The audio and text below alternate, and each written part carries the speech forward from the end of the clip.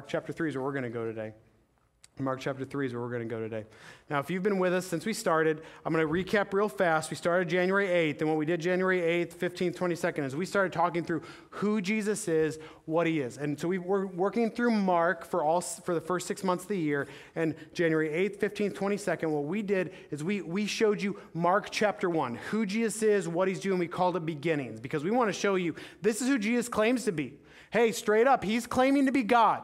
All right, he's claiming to be God and he's doing things of godlike proportions. He's doing things that where he's healing people, he's touching people no one would touch, he's helping people no one would help. He's doing things beyond anybody would ever expect. And then we started this next series uh, uh, called Reversing Religion because what we want to do is we want to, there's just a lot of bad understanding about what we do as what Christians are. And then, like, Christians don't even really get it sometimes. Like, we, we get this idea that we're, we're just doing what we're supposed to do so that, so that God's going to be happy with us, and He's not going to zap us with lightning, and everything's going to be fine. But, but what, what the scripture says is something totally different is that, is that re- religion, religion is all about doing and if I do, then I'm going to get accepted. If I do the right things, if I obey the right rules, if I keep the, all the commandment stuff, then God has to do what, then God has to accept me. He has to say everything's good. He has to, he has to take me in. Everything has to be good. Now, here's the thing when you do that. If you're the one, I'm going to keep the rules, and then God has to, then who is really God in that equation? I'm doing the right stuff, then God does what I want. No. The whole world operates on this principle of I'm going to do, and so God accepts me. I'm going to do the right things. I'm not going to lie. I'm not going to cheat. I'm not going to steal. To do all the good things. Then God has to accept me. Christianity says something totally different. It says something the exact opposite. It says that I am accepted as I am. He's accepted me. I put my faith in him. He's accepted me as I am, as I am. All the sin, all the junk, all the mess. And I'm coming to him and saying, I need your help. He's accepted me. And because I'm accepted on this de- deepest level, on this level of, of, of, sinful heart mess, because I'm accepted when no one else who actually knows what's going on all the time inside of here, when no one else would ever accept me, He's accepted me completely. Because of that, I do. And so religion says, religion says I do, and because I do, I'm going to accept it. But what gospel says, what Jesus says, what Jesus teaches is he wants to reverse this thing of religion and say, no, it's I am accepted. Because I'm accepted, I do. Religion is different than gospel. And we are a church that stands for who Jesus is and what he's done. We're a church that loves the gospel and not religion. We aren't a church that's about do, we're a church that is, that's about done. That Jesus did all the work. And now we, we serve him out of joyful love. So on your hand, if you're going to write that down, it, it's just simply this is that, is that I am accepted. Gospel says I'm accepted because that I do. Religion says I do, and because of that, I'm going to be accepted. And we say that's false. So we started a couple weeks ago in this series, and we looked at Levi. Levi is a, tax collector. He's a Roman collaborator, a guy who is selling out his own people. And as he sells out his own people, what he does is he's, he's actually profiting from their extreme financial loss. So, you know, you love that guy, just like you love the IRS. And what Jesus does is he calls him to be one of his disciples, not one of just this group that follows him around, but one of the 12, one of the top 12, one of the people who ends up actually writing a gospel. He writes the first gospel. His name is Levi in, the, in Mark, but his name is Matthew. And Matthew, uh, the tax collector, has changed. And we saw that everybody's welcome. So that everybody's welcome in this thing that Jesus is doing. Everybody is. Everybody's welcome as long as they realize that they have to come in.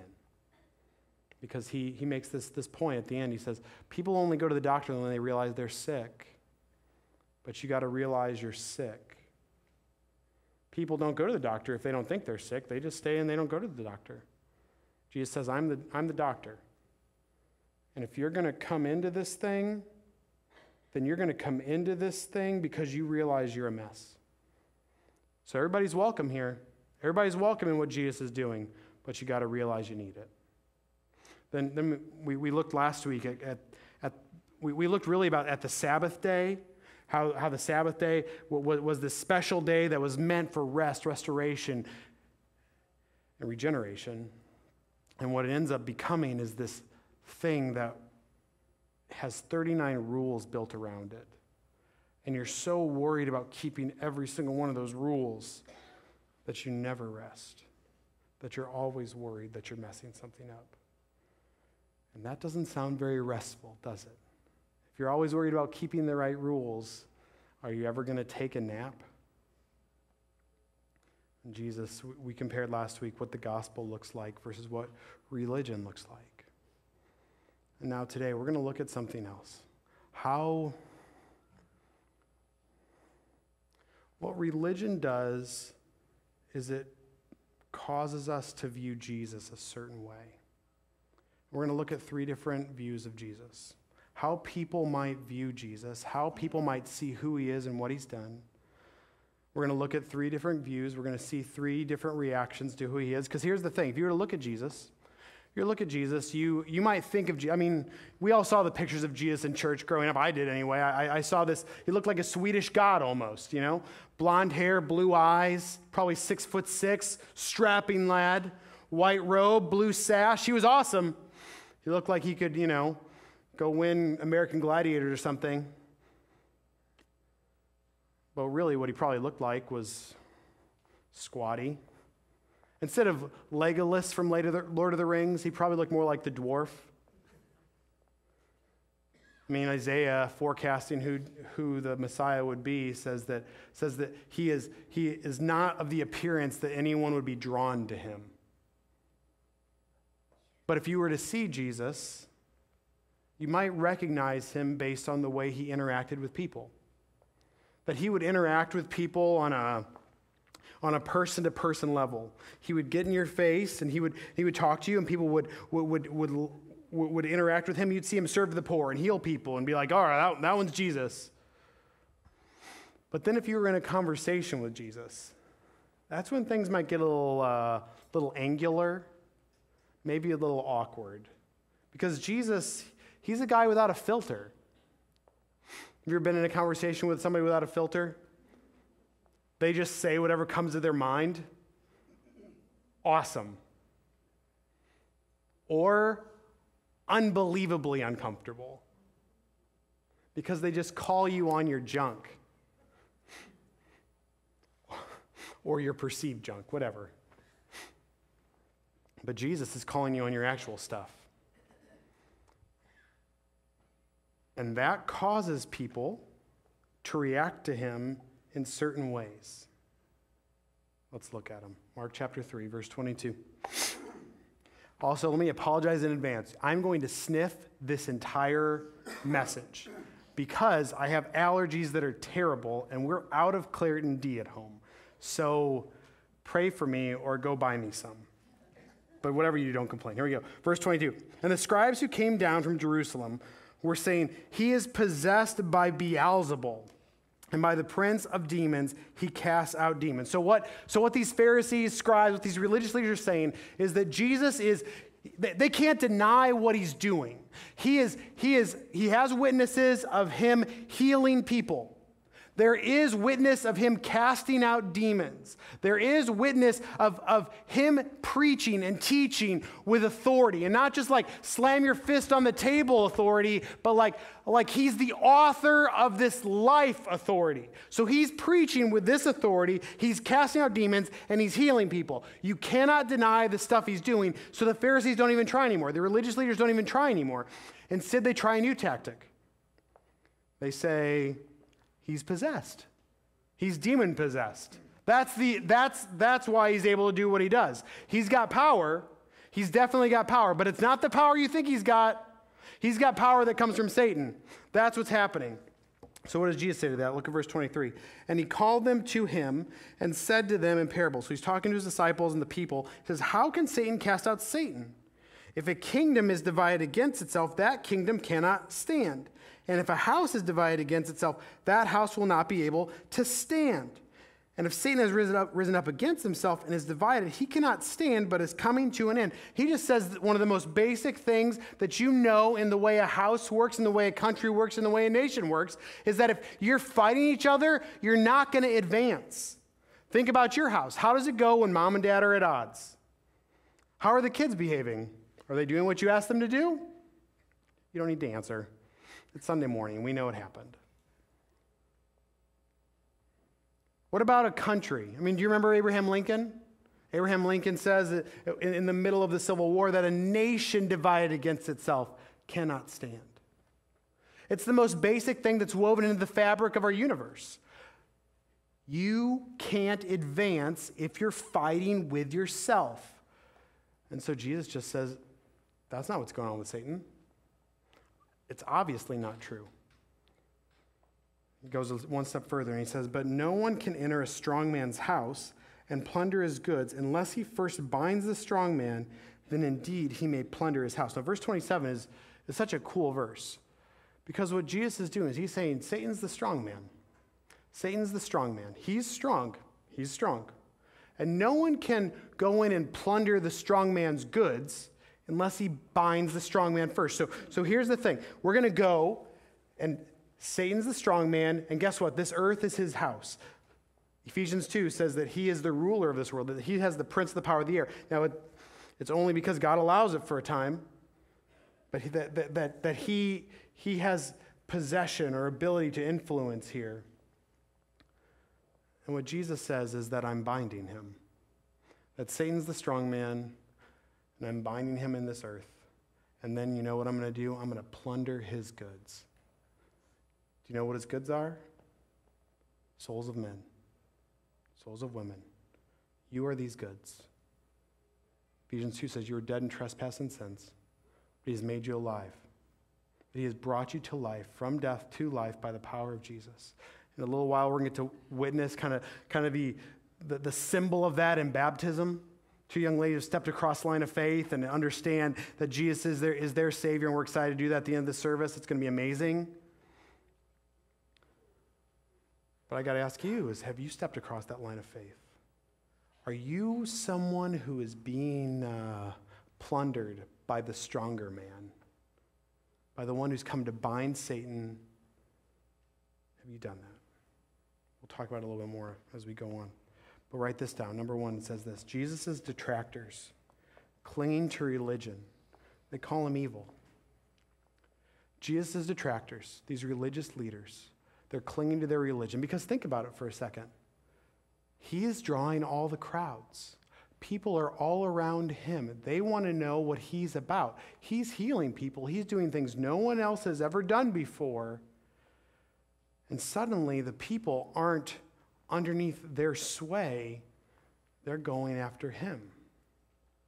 He's messing up their livelihood, he's screwing up the whole thing. Remember, just about 15 verses before this, the Pharisees and the Herodians, the politically religious conservative Pharisees, and the liberal hedonist Herodians, they are coming together because that because that happens all the time, right? You know how Republicans and Democrats get, get along so well.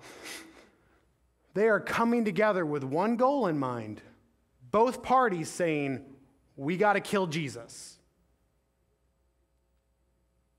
because he's messing up all our stuff.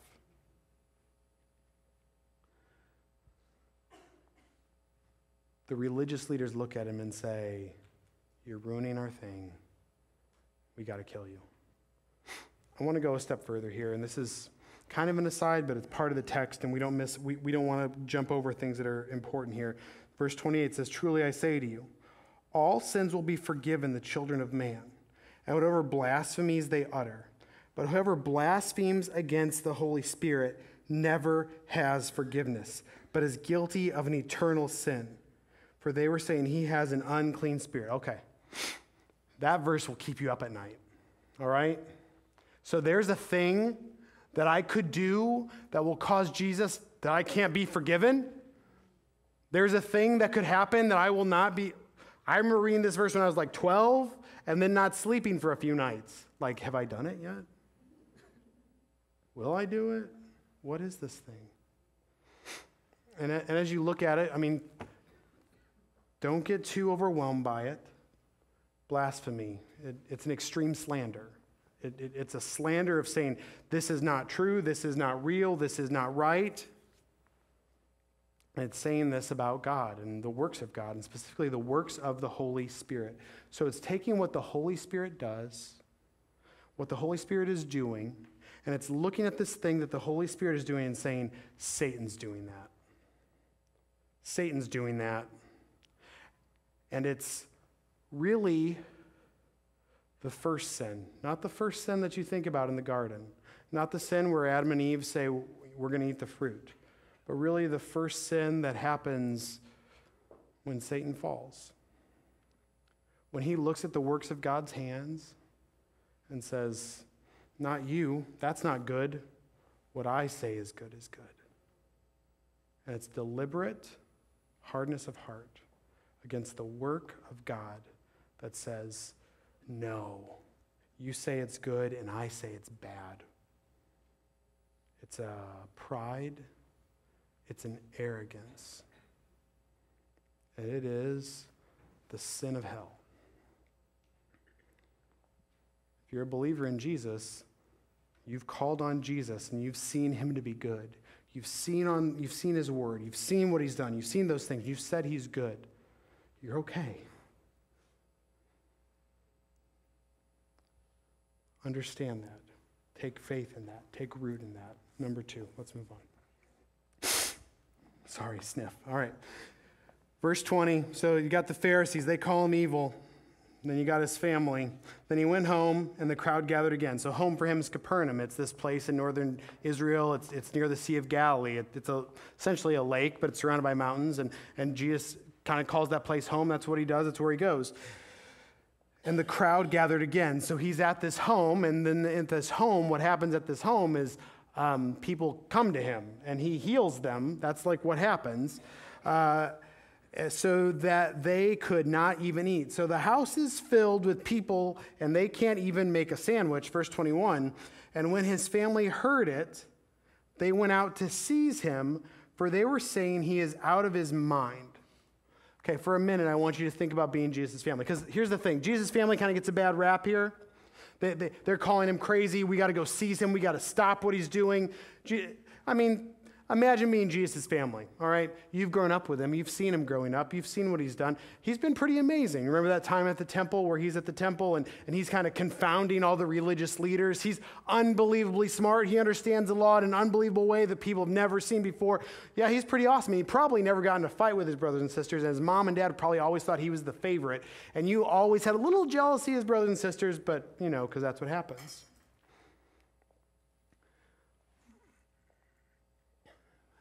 And then he kind of starts to rise in fame. Comes on the scene at about age 30, and he heals people, and he's teaching in the synagogue. We aren't teaching in the synagogue, but Jesus is. We're carpenters, but Jesus is a rabbi. What? He went out to that river and he got baptized, and then God talked about him, and this Holy Spirit came down on him? That, that's not fair. And then people just follow him, they swarm him. He's like a rock star. And that might be good for you for a little while. Your fame kind of rises as a family. You're in Nazareth, your, your brother is famous, your son is famous. That's probably okay for you. But then he constantly, consistently, is in the face of both the Roman government and the religious leaders constantly and consistently. It's like constantly and consistently posting against our president, our Congress, our city government. Hey, hate you guys. And also at the same time, all the religious leaders in a town. What do you think that does inside of a small town like Nazareth? Do you think there starts to be a little pressure? This little insular town, probably at that time, no more than a few hundred people live there. What's, what's your son doing? What's he all about? Why is he doing this? I mean, his family gets a bad rap, but let's be honest, you'd probably be the same way. Your brother starts walking around saying he's God. Yeah, he's crazy. But then people actually start to believe him. Like he's not just talking about it, but then people start following him, and then he's got crowds that follow him, and then, oh, and then we got all this pressure on us. Yeah. I mean, Jesus' family, they are feeling pressure from religious leaders, but as they're feeling pressure from religious leaders, they, they have a little more uh, care for him, and so they just call him crazy. Religious leaders call him evil. Family, the family, they, uh, they just call him crazy. Let's go seize him. A little while later, if you were to look, I think verse 31 in this, in this chapter, what, what you'd see is, uh, is Jesus is teaching a group of disciples, and as he's teaching them, his mom and, and siblings come to the door, and they send somebody in to say, Get Jesus. And then they tell Jesus, Hey, your mom and your siblings are here. And Jesus comes back and, and, and says, Who are my who is my mother? Who is my family? Who are my brothers? Who are my sisters? But those who do the will of God. Hey, they think I'm crazy. But I'm not. And his brothers and his sisters and his mom, in the end, confess him as Lord. we we teach every so often, a chapter at a time, through the book of James. The book of James is the first book written in the New Testament. Book of James is written by the pastor of the church at Jerusalem, whose name was James, which is the first church. This pastor who's writing the book of James in the book of Jerusalem after Jesus' death, burial, and resurrection, after he ascends, this pastor who's writing this, his name is James, and he is the half brother of Jesus. This one who called him crazy at a door trying to seize him, 10 years later, is teaching people about how to live for him. He's gone from thinking he's crazy to realizing he's something more. One last group of people, one last reaction. Verse 13, he says, And he went up on the mountain and called to him those whom he desired and they came to him. And he appointed 12. So Jesus is taking this group of people, probably a bunch of disciples, maybe, maybe dozens, maybe hundreds. They're all up on this mountain with him, and he's teaching them right here. And, and, he's, and, and, he, and he calls to him those he desires. Verse 14, and he appointed 12 whom he also named apostles, so that they might be with him and he might send them out to preach and have authority cast out demons. He appointed the 12. So here they are. Here's the 12. Simon, to whom he gave the name Peter. Peter means rock. His name is Simon, but, but, God, but Jesus says, No, you are Petros, you are rock, you are, you are solid. Simon, James the son of Zebedee, and John the brother of James, to whom he gave the names Bojangles? No. Uh, Boanerges, that is, sons of thunder. These are guys, if you were to look at some of the Gospels, how they want, they want to be considered tremendous leaders. Like they're asking to sit on Jesus' left hand and right hand in his glory. Like they're, they're just, hey, us, because we're awesome. You know, like you do when you're boisterous, thunderous, and crazy. That's these two. He calls them, come on, you're fishermen. We need some more fishermen. Andrew and Philip and Bartholomew and Matthew and Thomas and James the son of Alphaeus and Thaddeus and Simon the Zealot and Judas Iscariot who betrayed him. He calls 12. He calls 12. And he, he, calls, he calls Matthew, Levi, who we looked at a few weeks ago. Levi, tax collector. He's a collaborator with the Roman government. He's, he's there to hurt the people of Israel, but Jesus calls him to himself and he changes and there's a man called Simon the Zealot. Now, the Zealots were, were, a, were a party that wanted to very physically overthrow the Roman government. Political assassination? Yes. Did Simon do that? We don't know. But he was part of a class of people who did. So you've got extremist extremist who says, get rid of Rome. And you've got Roman collaborator, and they're eating dinner together all the time. They're, they're walking in Jesus' footsteps all over Israel. Former Roman collaborator, former assassin, working together, coming together. Pretty crazy. And Simon the Zealot and Judas Iscariot who betrayed him. These, these people, they're coming around. People who are fishermen and people who are hated and people who are thought to be crazy because they're too extreme. And, and all of these people are coming together and they're following Jesus. They've been rejected by religion and they call him Lord. They've been rejected by religion or they are rejecting religion and they come after Jesus and say, Jesus is Lord. That He is the Lord, that He's the one we trust, that He's the one we're going after, that He's the one we believe in, that He is the one. He is it. They were misfits, economically different. They spoke their mind.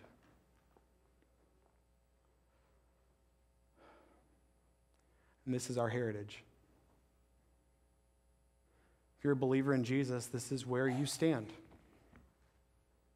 You stand in the line of these people. Not in the line that calls Jesus crazy, not in the line that calls him evil, but on a line that's narrow, that says he is not crazy, he is not evil, he is good, he is the Savior of mankind. He is who he says he is. And we, though we may look crazy for following him, will go after him. That we will not pull back, but we will push forward, not for our own sakes, but for his. Not for our own glory, but for his. Because he isn't crazy. He isn't insane. He isn't evil. And if he is if he isn't crazy and he isn't evil, then he must be who he says he is. I was talking to a guy this week and we were talking about you know, I shared the gospel with him and as I shared the gospel with him we we we just talked through, you know, I was studying this passage so I talked about this passage with him and and, and, and as we, we talked, he just kind of got into this thing where he's like, Yeah, I like Jesus a lot. I think he's great. I was like, Oh, where do you go to church at? And he's like, I don't go to church because I just think he's a good moral teacher. I think he teaches great stuff. I love how he's always telling religious people off. I love how he's telling people not to lie and that they need to rest. And I'm like, Yeah. But here's the thing like, when you think of Jesus as a great moral teacher, like you're putting him on the level with Gandhi, right? Like he's, he's, Gandhi's a great moral teacher. He taught pacifism and he was, you know, people love that guy. And he, you know, sometimes people quote Gandhi and they think they're quoting Jesus. And it's like, don't read your Bible a little more. The, Jesus isn't a great moral teacher. He's not. I put a quote in your handout that'll be on the screen, and I'm going to read it to you. It's by this guy named C.S. Lewis. If you're not a reader, I'm sorry. You should be. And you should read C.S. Lewis. Jason, I don't want to. Get an audio book and listen to C.S. Lewis. It might make a little more sense because a lot of his writings are actually radio messages, which is where this one was read first. He says this in Mere Christianity I'm trying here to prevent anyone saying the really foolish thing that people often say about him. I'm ready to accept Jesus as a great moral teacher, but I don't accept his claim to be God. That is the one thing we must not say. A man who was merely a man and said the sort of things Jesus said would not be a great moral teacher. Because think about it. If he is saying what he's saying, that he's God, but he's not God, that's not moral. That's wrong.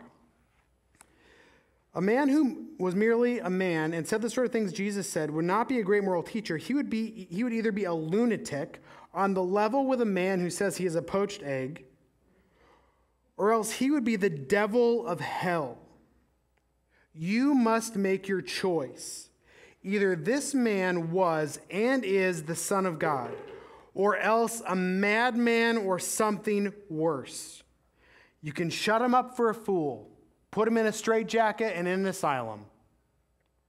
You can spit at him and kill him as a demon, or you can fall at his feet and call him Lord and God.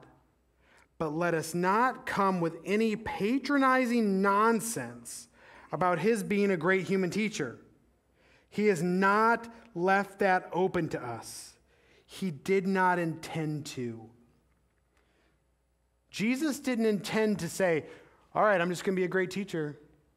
Let's muddy the waters and say, I'm, I'm just really nice and I, do, I, and I do good things and everybody just listen to me and take what you like and don't, don't, don't listen. No, he says, I am God. He said it constantly and consistently. And if you don't believe me to be God, then you won't follow me. You're going to think I'm either crazy or you're going to think I'm evil. But if you listen to everything I say and you don't follow me as God, then you're lost. We believe very, very clearly, very like boldly Jesus is God. He is the Son of God. He is in the Trinity God the Father, God the Son, God the Holy Spirit. He is this one who came, who lived, who died, who rose again, and then ascended to the right hand of the Father. That's what we believe. That's what Christians believe. And as you explore the faith, the claims of Jesus, if you're here and you're not a believer, explore these claims and understand who he says he is and what he says he's about. And then don't get muddied up and say, well, I like this part, not this part. Realize if he says he does this and then he doesn't do this, then he's a liar or he's crazy. Or he's Lord. In a little bit, we get to celebrate two young ladies who call him Lord. Let's pray. Father God, thank you for the goodness of your grace. Thank you that you don't you don't leave us in muddy waters that say maybe yes, maybe no. You make it clear that you say you're God. Because you say you're God, we can trust you. Lord, I pray uh, for us here, believers, that we would walk in strength and power, knowing that you are God, that we've put our faith in you, that we put our trust in you. As a result, where you call us to walk, it may seem crazy, but it'll be for your glory. Lord, for those here who are not believers, but exploring faith claims of Jesus, exploring what, who Jesus says he is and what he says he's done, God, I pray that, that, that this passage would, would strike them in a way that says, I, I can't. I can't serve him as just moral or just follow him as just a, a thing. But I have to follow him as who he says he is and what he says he's about. Pray for your, your hand to call them to yourself. Lord, help us. Help us to walk in faith, knowing that you are God and that you have done everything you said you'll do, and that you keep your promises to us. Thank you for Jesus. In his name we pray. Amen.